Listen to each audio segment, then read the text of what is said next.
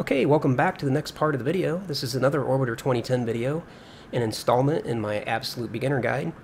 And this is a video series that has a special emphasis on people who are brand new to Orbiter. You've downloaded the program, you've got it installed, it works. You load it up, but you really don't know how to do anything with it. This video series is put together to help people uh, learn how to do things like rendezvous with the space station, get to the moon, and just work with Orbiter in general. Now, I'm assuming that you're going to watch these videos in order, so if you're coming onto this video and it's the very first one that you've seen, go ahead and stop the video, go back to the Absolute Beginner Guide Part 1, and work your way forward.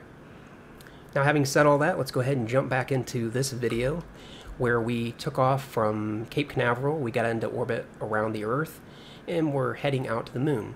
In the last video, we actually experienced a problem uh, an unforeseen problem, and that problem arose from having one of the uh, realism settings turned on, and I forgot that I had had it on from one of my other flights that I had done. And it turns out that uh, it kind of screwed up our flight, but that's okay um, because it's something that I think absolute beginners should understand is that things don't always go exactly like you want them to go. And you need to know that if you experience a problem that you can recover from that problem. You don't have to just abort the flight and start over from the beginning. In almost all cases, you can fix the flight. And that's what we did uh, in the previous video. So let's go ahead and pick back up here and start heading back, uh, start, start our plan over for going to the moon. Now in the last video we kind of talked about you know setting up transfer MFD but we'll go ahead and do that again. Uh, reference is Earth, target is moon, and we're going to press HTO to turn on hypothetical transfer orbit.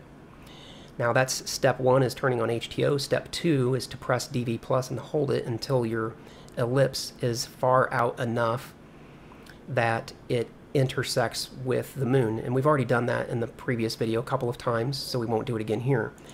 But just as a reminder, as you're pressing DV plus and holding it, you'll notice that this ellipse doesn't quite reach the distance to the moon, and here it says no intersection. So I press DV plus again, one more time, one more time, one more time, again, one more time, and this next time probably, now the no intersection goes away, and we now have an intersection with the moon. Once I get to this point, I like to press uh, DV plus at least 10 more times, maybe even 12.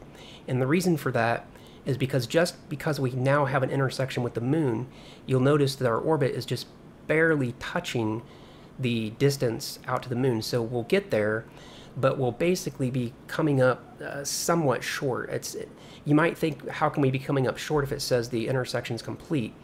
Well, it's not necessarily that we're coming up short, but we're we're we're basically on a on a ballistic trajectory with the moon, where our our velocity is going out, and it's just barely touching the altitude of the moon. So if we were to if we were to use that plan, which we could, we would be on a ballistic trajectory straight with the center of the moon. And what we would prefer to do is get out to the moon and be on a, a trajectory that'll take us, you know, out uh, to the side of the moon because we don't want to we don't want to crash into the middle of the moon. We want to get into orbit around the moon. So once it says the intersection is there, I press DV just out of habit at least 10 times, maybe even 12. So 1, 2, 3, 4, 5, 6, 7, 8, 9, 10, uh, 11. Let's just go with 11 this time. Last time we did 10, this time we'll do 11. So step 1, HTO. Step 2, DV+. plus. Step 3 is either EJ minus or EJ plus. And what we're looking for is when the gray line is laying over top of the dashed yellow or dashed orange line. And again, the dashed orange line is what transfer MFD is where transfer MFD thinks the moon will be when we get out to that point. Currently, the moon's here. The solid line shows where the moon's at right now, and the dashed line shows where the moon will be. And this gray line uh, needs to lay over top of it so that that's where we are going to be. So we'll lay that right there. And you'll notice if you go that, if you go plus a little bit, it's a little bit farther past, and sometimes if you go minus a little bit, it's a little bit off. There isn't quite enough precision here to always get this to lay straight over top the middle. That's okay. It doesn't really have to be that accurate because we're only talking about a difference uh, of burn, uh, a difference of burning between you know two seconds or sooner or two seconds later. So it isn't going to make that much difference. So if you have it here, that's okay. If you have it here, that's okay. But really, you know, if you can get it sort of more lined up, that's the best. Now we want to warp time forward until we are at the time to do the burn. And the time to do the burn is given to us here, uh, the DTE, and off the top of my head I don't know what that acronym stands for, I'd have to look it up. But we can also see here uh, in Transfer MFD that our orbit around the uh, Earth, you know, here is Earth in the middle, is, you know, moving forward. So we're just going to press T a couple times to move time forward. Notice the DTE is counting down and we're getting closer to this point over here. And this is when we're going to do the burn, is when this line is over here. As we get close to this point, as always, we will come back to real time so that we don't overshoot and that so we can give the autopilot time to settle. So when you get down to say 200, uh, about right there, about 125 seconds will be good. Go ahead and go to the prograde position by pressing the prograde autopilot. Give the prograde autopilot time to settle. Now, we don't actually start the burn when DTE is zero. And the only reason for that is according to the orbiter PDF and the various instructions that I've seen, we actually want to start the burn when the uh, DTE is about uh, 30 or 40 seconds. And again, it doesn't have to be exact. Uh, different guides will actually give you different time frames for starting it, but main, basically when it's about 30 seconds. Um, and I don't actually, personally, I don't know off the top of my head why why that is, why you don't wait for it to be zero. I, I think it has to do with balance. You know, you always want to balance your burns.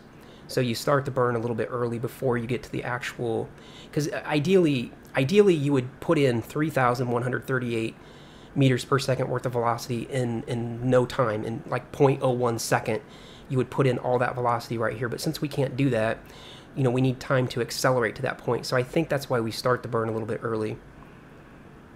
So when this is about, uh, you know, and it could even be 45 seconds, but 30 to 40 seconds, somewhere in that time frame, we'll go 40 pressing the plus key and holding it, tap the control key to lock it. We're now doing the burn, and what, what the one thing that we need to do is when the DTE gets to uh, zero, we want to turn off the prograde autopilot. The reason we do that is because the prograde autopilot will continually uh, adjust the vessel around the curvature of the Earth in order to keep it into the prograde position. And we don't actually want to do that once we get to the, uh, once DTE is zero. And this has to do with the semi-major uh, difference which isn't shown in this MFD. So as we get here to zero, turn off the prograde autopilot. And now the vessel will just, uh, it, it'll yaw naturally on its own and it's fine to let it do that. Uh, what we can do now is we can even warp time forward to get through this burn a little bit faster. You want to be very careful with this. Don't go more than 10. But we're going to burn until the DV is 0, and you'll notice that it's counting down, you know, 2.055 and so on. So if I press T one time, I can get away with the time warp. For absolute beginners, I would probably recommend that when you get down to maybe 500 seconds, like now, go ahead and come back to real time and let the burn handle itself uh, in real time from this point forward. You'll notice the ellipse here is growing out to that point and it will continue to grow until it's all the way overlapping the hypothetical. As we get down to dV about 100, we're going to want to press control and start subtracting some of the delta velocity like I'm doing now. You can notice my main engines are coming down and if we don't do that we'll end up overshooting by a lot. So now I've got just a little bit of main engine. I'm reducing the engine some more. Going to reduce the engine some more. Get ready to press the asterisk key. Kill the engines. Rotation. Now with just a little bit of translation, I can translate that last little bit of delta V. So when I'm at 0.00, like that. And if for any reason you overshoot it one way or the other, you can press Control 9, for example, or control 6 and just get it corrected there so that it's basically 0.00 is what, is what you want. Now we are on our way to the moon. So what we can do here, uh, we're basically done with this MFD, but we can turn off HTO, that's hypothetical transfer orbit. We can turn that off. If we want, we can keep this MFD open. Again, we don't really need it. Now all we have to do is warp time forward to get out to get out most of the way to the moon. I say most of the way because we're not going to we're not going to go all the way to the moon because we have a mid-course correction to make. So if we press F1, we can look outside. Look at the pretty view here. We left Earth at daytime. Convenient uh, coincidence. And we'll press T, uh, just maybe go to 100, 10 or 100. You don't really want to do too much time warp when you're in closer to the planets, especially if they're in view like this because when you're when the planets are in view, these textures are you know being rendered on your video card, and it can cause frame lag and all kinds of other issues. Uh, of course, that depends on your computer. My computer's pretty good, so I don't experience too many of those problems. But uh, generally, just warp time forward at 10 or 100 until you're out away from the planet a little bit. And as you get farther away from the planet, the textures uh, start. it uses lower resolution textures, so you won't have as many problems rendering. And we can hit kill rotate to keep the vessel from yawing around. It'll go out to a thousand at this point. Again, if we look back at the planet, see what's going on. And there the textures just went to a lower resolution, I could tell.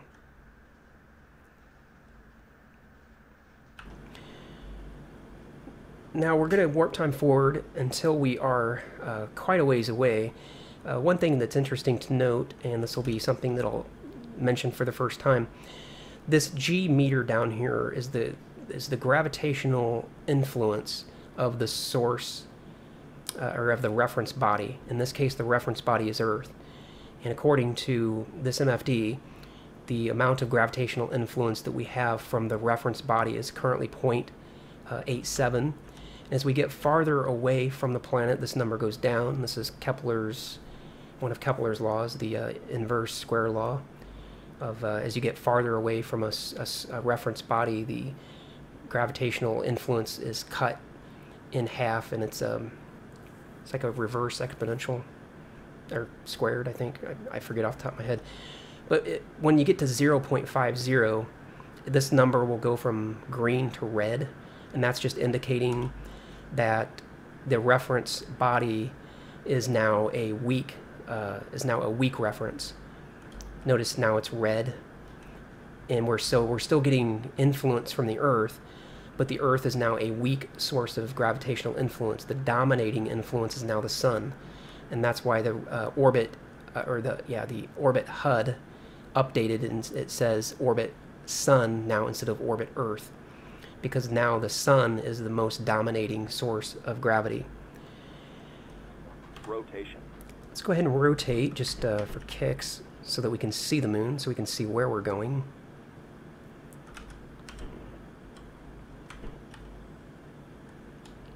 That's the Earth, so let's go the other way. And I saw the moon coming into view.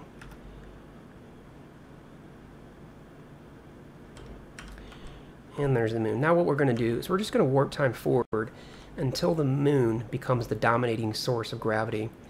And there's a couple of indicators for that. Notice I'm only at warp time, warp factor 100 at the moment. That's mainly because I just want to explain things.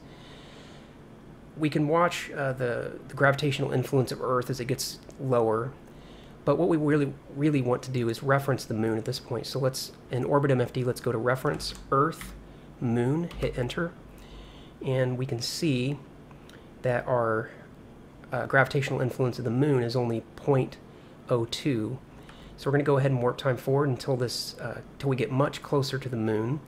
And it will also automatically update on the HUD. This will change from orbit sun to orbit moon once we're close enough to the moon for the moon to become the dominating source of gravity. But that won't happen until we're quite close. So we can continue to warp time forward. Just want to watch your time warps because you it seems like things are happening slowly when you're at 10,000, but as you get closer and closer, things happen faster and faster. So let's go back to a thousand so we don't overshoot.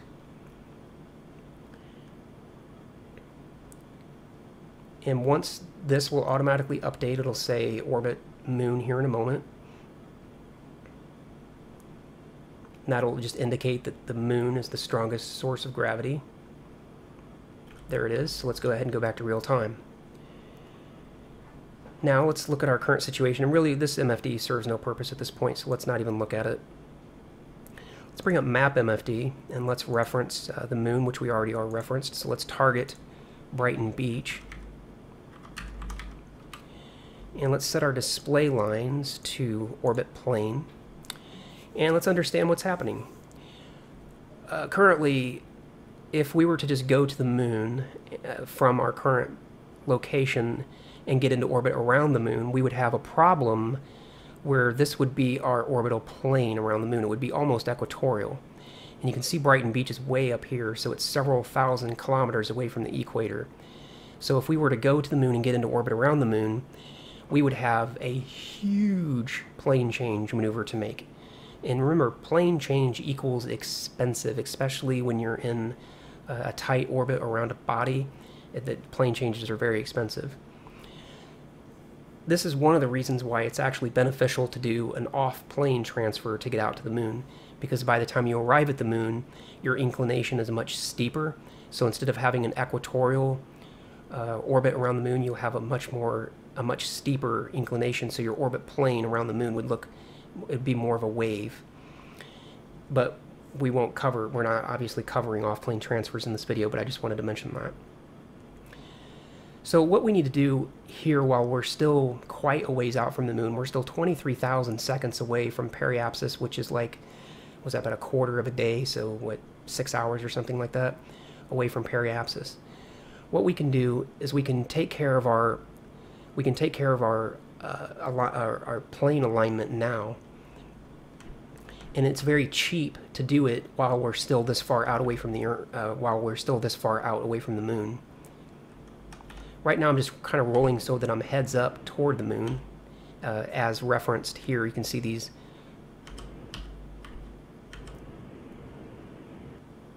uh, I forgot I was at 0.1. So I'm now I'm now heads up to the moon. The indicators here are all, you know, upwards. So I need to adjust my orbital plane so that it crosses over top of Brighton Beach. And I can do that by either going to orbit plus or orbit minus. Now, unfortunately, off the top of my head, I don't know if I need to go orbit plus or orbit minus. There is a way to know. I'm currently on a retrograde inclination toward the moon. I can tell that because my inclination is 172.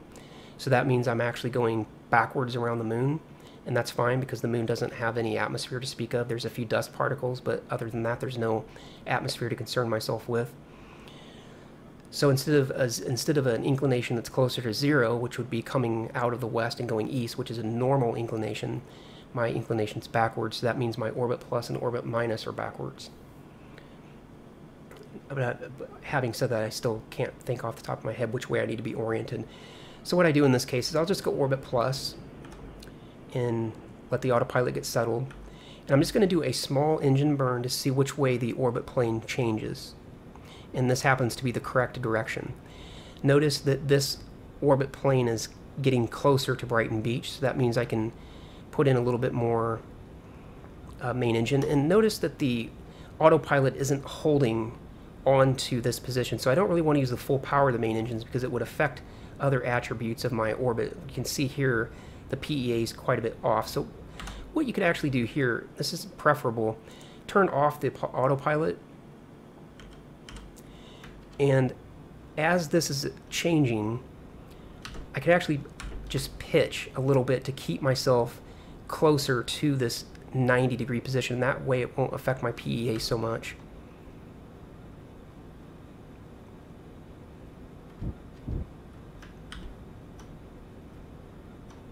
So I'm just putting in a little bit of engine burn and notice it's having a nice uh, quick effect on the orbit plane. It's getting the orbit plane closer to Brighton Beach. And I'm actually a little bit beyond this point here, but I'm okay with that because it's bringing my PEA down, and that's um, and I actually want to bring the PEA down, so I'm okay with that. I just don't want it to go up anymore.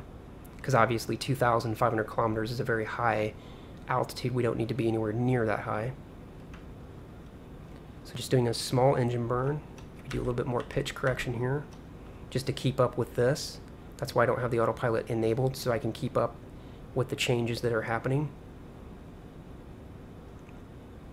And we almost have the orbit plane set. And notice this, we're using very little engine at this point. This is it's it's this is why we do the maneuver out here because it's much cheaper. And as we get close to the center of Brighton Beach, maybe about here, I'm going to go ahead and kill the main engines. And the reason that I kill the main engines prior to getting straight over the center is because as I move forward, get closer to the moon, this orbit plane is going to continue to change a little bit. And I generally find that it changes, uh, it changes toward Brighton Beach. So if I bring the center, if I bring the orbit plane, if I zoom in here, if I bring the orbit plane all the way over to the center of Brighton Beach, then by the time I get to Brighton, by the time I get into orbit around the moon, the orbit plane will have moved out to here. But if I stop it a little bit short, then the orbit plane will continue to adjust forward as I get closer to the moon. This may be a little bit too far down, though. Let me bring it up a little bit more.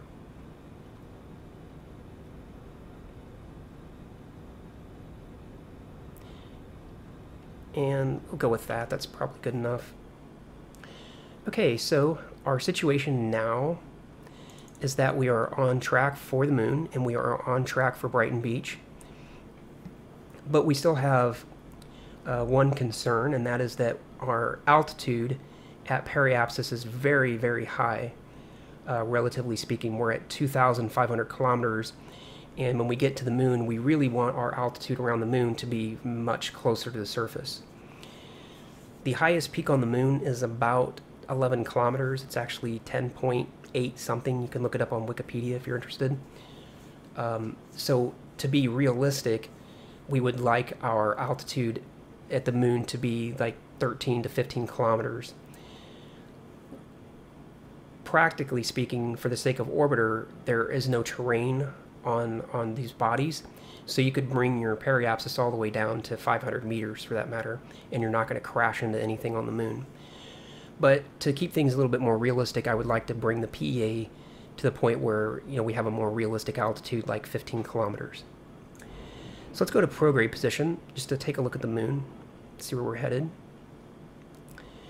Now there is a problem with orbit MFD in terms of uh, its accuracy. When you're still this far out from a from a body, the gravitational influence being 0.41, this MFD, this information isn't very reliable. We have to be down to like 0. Point, uh, at least 0.8 and preferably 0.9 before the PEA really starts to become reliable.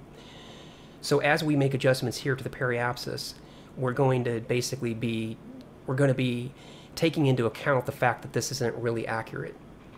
Uh, but we have enough of an adjustment to make that we, we do need to make some kind of a change.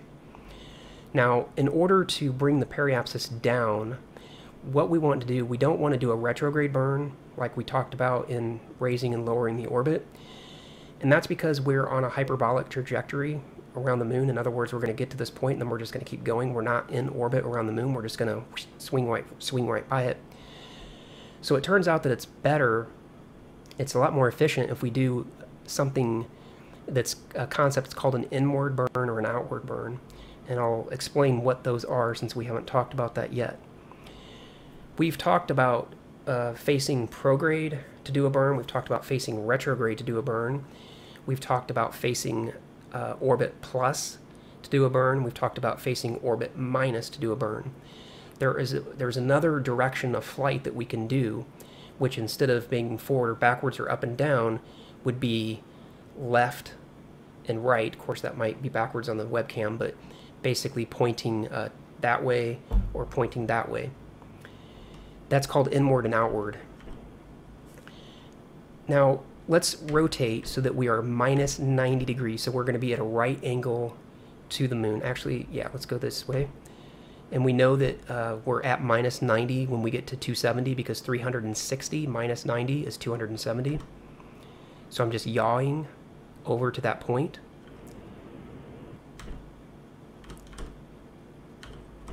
Okay, and let's look at this from the external camera so we can see what we're talking about. So our direction of flight to the moon is basically this way. You know, we're going forward, and we're now currently facing uh, to a right angle to the moon, to the to the minus direction. This is inward.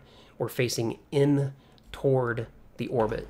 If you think about the if you think about the orbit here, we're facing instead of facing toward the orbital path, which would be this way, zero degrees, we're facing inward. We're facing a, a right angle to that direction.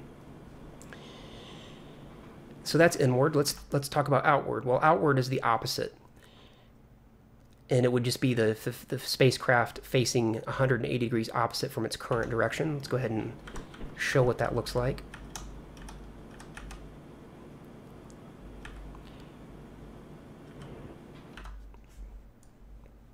So now we're facing outward. So our direction of flight is this way, still hasn't changed. But instead of facing in toward the orbit, we're now facing out away from the orbit. Now, if we needed to raise our periapsis, if, if for some reason, let's say our let's say our, our trajectory to the moon had us on a crash course, and that would be the case if you were to have your intersect set and you didn't add any additional dV, you would be on a crash course with the moon. If we were on a crash course with the moon and needed to raise our periapsis, we would do that by facing outward. Currently, I am facing outward, and if I put in a little bit of engine velocity, you can see the PEA is going up. It's getting higher. That's not what I want, so I'm going to kill it right away. What I want to do is I want to face inward. I want to be the other direction. So instead of being prograde, which is here, I want to be inward, which is minus 90 or 270.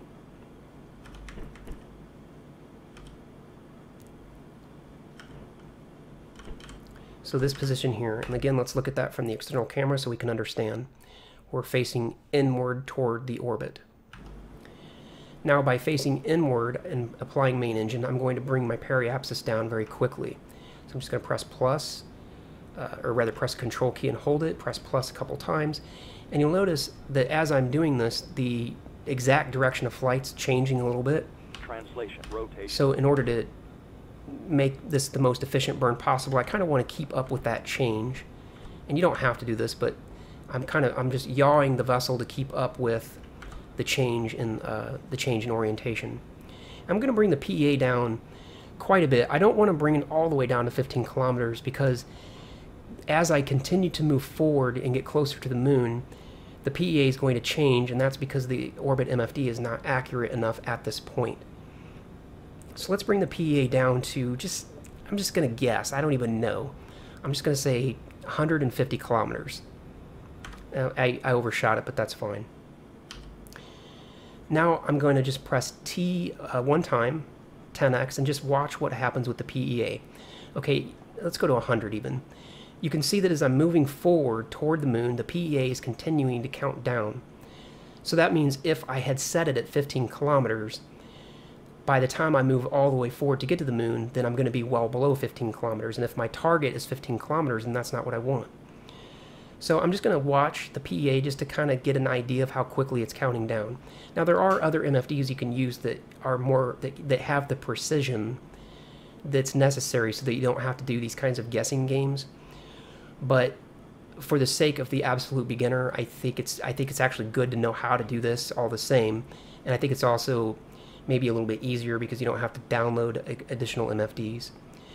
So as I'm moving forward closer to the Earth, I can see this is counting down, but it's not counting down really fast. So I'm going to go ahead and go back to real time, and I'm going to bring the PEA down a little bit farther because, again, my target's 15 kilometers. So I'm going to bring it down to, let's go with 60. Actually, I accidentally tapped the plus key and did a full blast of main engines and brought it all the way down to 43, but that's okay. Because as we get closer and closer to the moon, this gravitational number gets closer to 0.80, and the closer it gets to uh, uh, 0.8, and the closer that it gets to that, the more accurate this becomes. And by the time we're at 0.85 or 0.9, this number will be very accurate. So I'm just going to go ahead and warp time forward until we're at that point, and then we'll end this part of the video for the sake of time.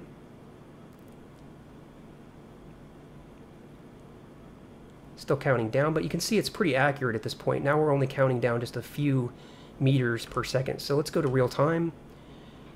And now that we're at 0.89, we'll go ahead and we'll do just the last little bit of correction. We can probably even use translation for this. That's a little slow. So let's press the plus key, or control plus, and just bring the PEA down to 16 kilometers. And that way, any difference between here and here should be right there we have it.